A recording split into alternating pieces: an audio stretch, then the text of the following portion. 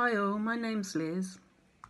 I was born and brought up in Luton, and I love Luton. Um, my dad left home when I was five, and life was pretty hard, really. But you know, we got by, we survived, and um, I, I wasn't brought up in a Christian family at all. I didn't really know anything about Jesus, only, um, you know, what they taught us in school, which wasn't a lot, and um, my family using the Lord's name in vain, really, you know, using it as a swear word. Um, but then um, years later, I met Ken, he was my saviour, and we had two children and four grandchildren, which I adore. And um, Charlotte um, I, I, we live on the high street and the church was opposite, so we used to walk past the church quite often. And Charlotte started to go with a friend to um, St Hugh's.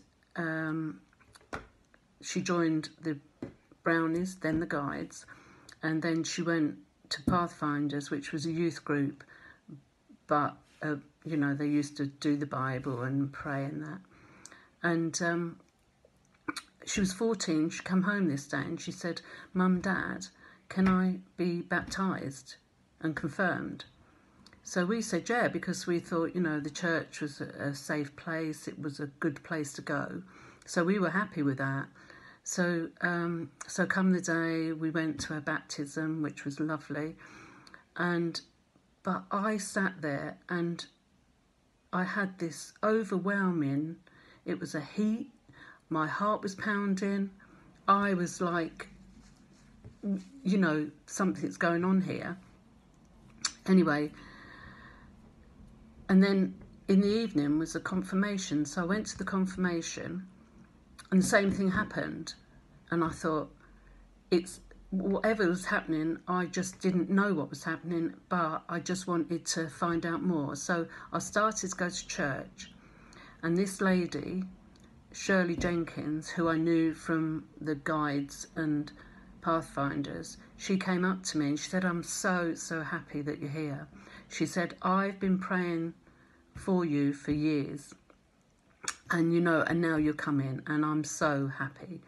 Which really, I thought that was that was lovely for her to pray for me all that time. And um, so then she said, "Would I like to go on to um, Saints Alive, which is like the Alpha, but um, yeah, just Bible study and, and praying, and then you give your life to Jesus and you go through a process. So I said, Yeah, I'd love to go.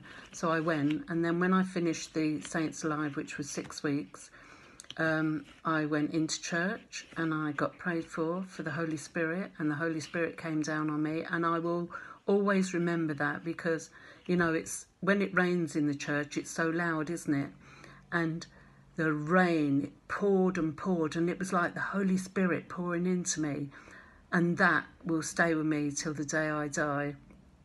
And uh, yeah and so i'm still journeying on with the lord and um, it's been hard sometimes because my husband's been poorly as a lot of you know for many years and um, so you know god's been good to us. God's been really good to us. And you know he's he's my go-to you know and i want to when i want to cry or have a little vent you know i go there and and you know and i and i pray and god's answered so many prayers.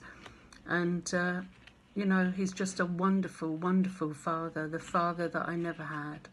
And um, Yes, and I'd like to encourage you who, you know, when you're praying for people, if you've been praying for years, don't give up.